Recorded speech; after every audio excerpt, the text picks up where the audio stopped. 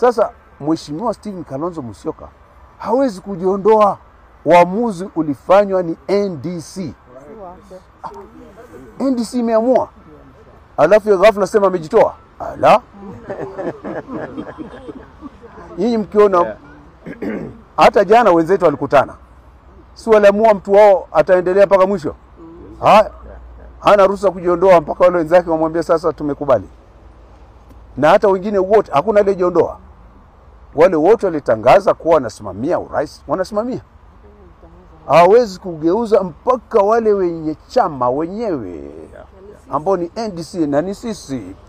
Tuseme vile tutasema, alafu na yeye hao wengine wote hawana budi, lazima wafuate. Ule kama uamuzi wa NDC.